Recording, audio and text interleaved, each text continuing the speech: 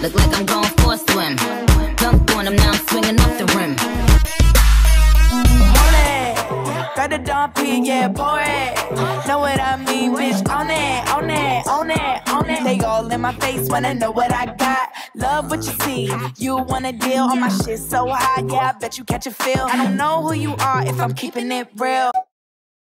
What's good, y'all? Welcome back to the channel. It's Jaterra Bria'Na here with some different content for you guys. Meet my mommy, okay? Today I will be doing my mom's hair. She wanted some locks, and I'm super excited to show you guys how I do somebody else's hair, okay? So let's get into it. She is freshly washed, and I just blow dried her hair, put some product in it, and I'm gonna show y'all all the tools that you'll need.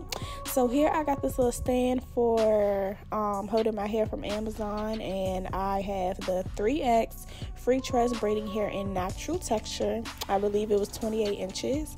I only used one pack of that. And then as far as her lock hair, she wanted two different colors. I believe these are the Jamaican, yeah, the Jamaican Twist brand. I got it in 1B and 613.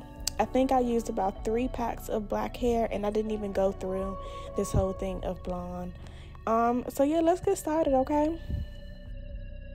First, I will be starting off by parting her hair with this parting comb. This is a lifesaver, I promise you. And I'm going to start by doing individual braids all over her hair. Um, this is going to create the thickness that we need for the lock. So also, if I didn't already tell y'all, please make sure you like, comment, share, and subscribe, honey. Turn on your push notifications and follow me on social media because I do post there outside of YouTube. So yeah, when my mom was telling me what type of style she wanted, she kept saying, I want my locks to be like a finger like thickness. So yeah, I don't know what she meant by that, but to make sure that the locks have some thickness, so you know they won't be too like skinny, I'm going to be doing some individual braids first all over her head. Super easy and self-explanatory. If you know how to braid, you're good. But basically, once you have your part together, I'm gonna show y'all how I start the braid off to make sure that it's going to stay really tight to her scalp.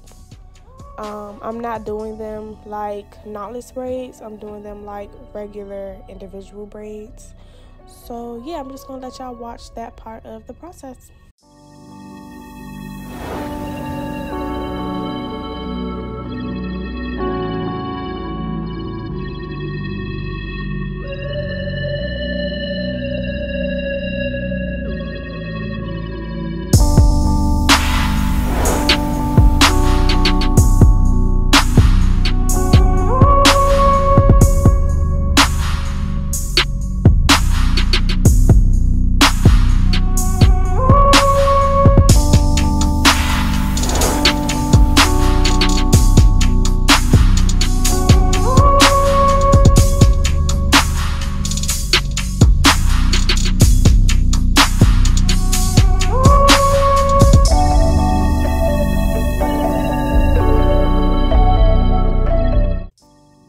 Jumping in right quick to show you guys how I start these off, you're going to want to part your hair or your client's hair in three sections and you're going to want to get the braiding hair. I'm going to separate a very small part. Also, this is the thickness of the hair that I'm going to be using. I'm going to separate a small part and I'm going to fold that over the other side. So small part, big part. You're going to fold the small part over to create an equal amount of size of the braiding hair, girl. And you're going to hold it like this, okay? You have three different strands. You're going to match those three strands up with the three sections that you parted from your client's hair or your own hair. And you're just going to lay them on top of each other like so like this please do not focus on my face and how focused i am. And then you're just going to regularly braid. Um i'm going to show you guys a closer clip in just a second so please bear with me. But yeah it's super easy to do once you get the hang of it. You want to make sure that you're using a lot of shine and jam to separate your parts. And yeah it's super easy to braid you guys once you get the hang of it like i said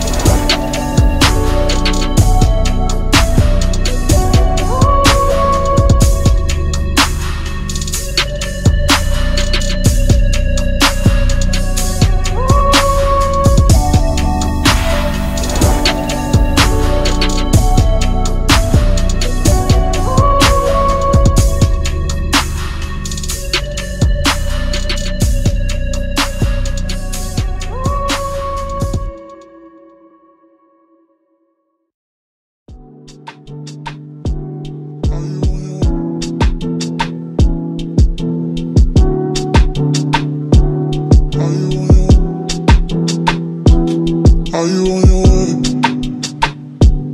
Are you coming soon to me?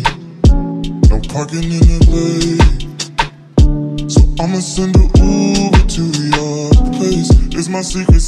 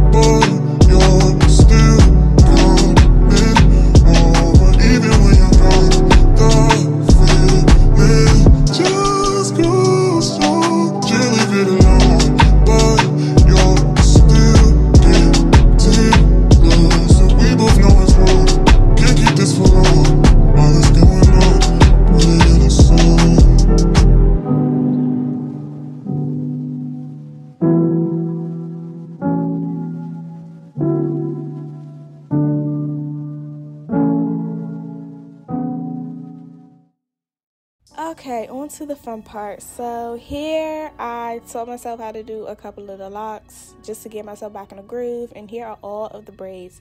Please don't ask me how many braids and how many locks she got, y'all, because she got a lot, okay? She wanted the look to be very full, very natural looking. So I do not know. I did not count and I will not be counting, okay? Um, so right now I am getting ready to crochet the hair. Um, I found it very easy to crochet a lot of pieces first and then go back and wrap them up. So I would suggest that you braid all of your hair in individual braids and then, you know, put the crochet hair all through the braids and then go back and lock them up. Um, so yeah. Also, let me talk about this blonde hair that you see me adding into her hair right now. I hate it. Okay, the 613 had a completely different texture than the 1B. It was dry, it was brittle, it kept breaking off.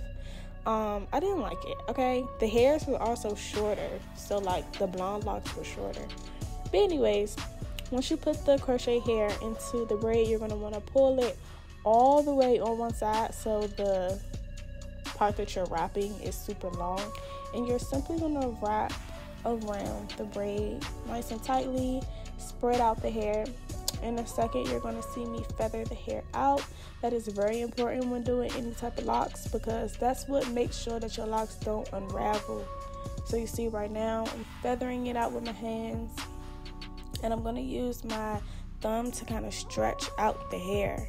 You see what I'm doing? Like stretch out the hair so it lays around the braid flat. So you can overlap the hair so it doesn't unravel. Okay, that's the only tip I can really give you when it comes to like making sure your lock don't unravel. I'm also gonna show you how I end my lock. I don't end my locks like normal people because I don't know, I just do whatever feels easy for me. So yeah, okay. I'm gonna show you in a second, but basically I cut the ends of the braid simply because it was making the hair tangle. But all you're gonna do is take the wrapping hair and wrap it around the braid after you fold it up.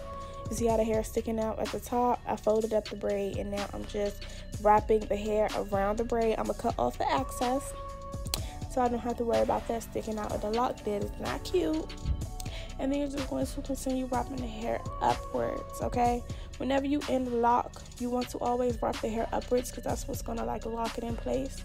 To make sure she has a ton of security with her locks i'm also going to be putting in a knot right now. So i just take that locking hair wrap it around put it in a knot and continue to wrap upwards. And then i'm going to palm roll it to make sure that it does not come out. In the end, I will also be um, burning the ends and palm rolling them once again, just because this hair kind of didn't want to stay in place. I've done a lot of locks on my channel, and I have a lot of tutorials, and this was the first time that I used a Jamaican braiding hair. It is super duper soft so I love that, except for that blonde hair, like I said. But the black hair is super duper soft and easy to like work with. You know, it don't like scratch your fingers because you know some hair be real rough. But this hair didn't like really lock well, if that makes sense. So yeah, now I'm gonna get into some like frequently asked questions or whatever. So, like I said, I only use one pack of the free Freetress braiding hair in the natural texture, you know, the regular Kanekalon hair. And I used three packs of the black Jamaican twist hair. And I didn't even use one full pack of the blonde hair because, like I said, I didn't like it. Um, this took me two days to do. Okay, because my mom wanted to start late in the day. She had me start her hair around like 4 o'clock, y'all. Why would she have me do that? So we was up from from 4 p.m. to 4 a.m. Not even going cap. And um, in that time, I was able to do all her individual braids, and I did the perimeter of her locks. So she wore a bun to work to hide the braids in the middle, and then when she came back from work, I finished the braids in the middle. But yeah, she loves her hair, you guys. And this was my first time doing someone else's hair, and filming it for y'all. So I hope y'all enjoy this type of content. If you're wondering, I do not do people hair yet, but I will be soon. Okay, maybe in the next upcoming months. If you want to book with sir. But yeah, y'all feel like I've been wrapping y'all heads off or whatnot. So just know that I went ahead and did these locks all over her head and now here is a clip please disregard my stepsister i mean Please disregard my sister in the back. But I'm going to be spraying some shine on spray to make sure that her hair is nice and shiny and will oil and moisturize when I also moisturize her scalp. And these are the locks, you guys. Like I said, please disregard everything you see in the back. Y'all see how fat the blonde ones was? Ugh, that hair just really threw me off. But anyways, this hairstyle, y'all. They look nice and full and natural. I love them. She's so cute. Hopefully, she let me take more pictures of her so y'all can see the final result. But yeah, um, I thank y'all so much for tuning in, and I will see y'all in the next video. Bye, mamas. Mwah. Got the yeah. Know what I mean, bitch? On it, on it, on it, on it.